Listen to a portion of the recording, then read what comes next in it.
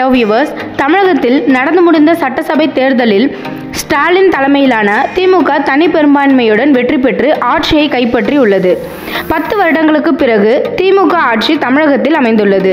தமிழகத்தின் முதல்வராக முதல் முறையாக மு ஸ்டாலின் கடந்த மே ஏழாம் தேதி பதவியேற்றார்.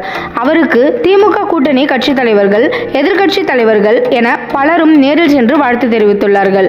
பிரதமர் நரேந்திர மோடி எடப்பாடி பழனிசாமி ஓ பன்னீர்செல்வம் உள்ளிட்டோர் ட்விட்டரில் வாழ்த்து தெரிவித்தனர்.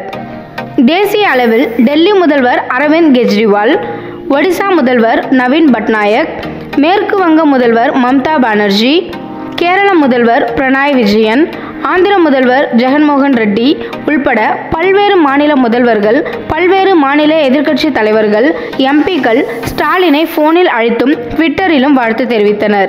இந்நிலையில் தமிழக முதல்வர் ஸ்டாலினை அவரது இல்லத்தில் தேமுதிக துணை பொதுச் செயலாளர் எல். கே. சுதீஷ் மற்றும் தேமுதிக தலைவர் விஜயகாந்தின் மகன் விஜய பிரபாகரன் ஆகியோர் இன்று நேரில் சென்று வாழ்த்து தெரிவித்தனர்.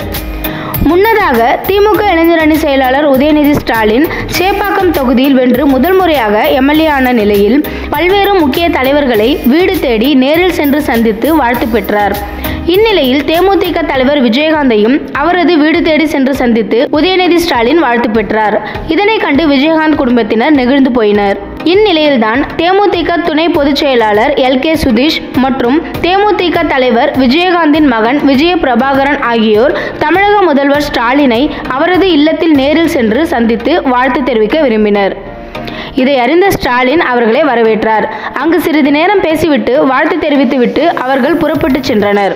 இந்த மாதிரியான பல செய்திகளை தெரிஞ்சுக்க நம்ம சேனலை மறக்காமல் சப்ஸ்கிரைப் பண்ணுங்க. இந்த வீடியோ உங்களுக்கு பிடிச்சிருந்தால் லைக் பண்ணுங்கள் கமெண்ட் பண்ணுங்கள் உங்கள் ஃப்ரெண்ட்ஸ்க்கு ஷேர் பண்ணுங்கள்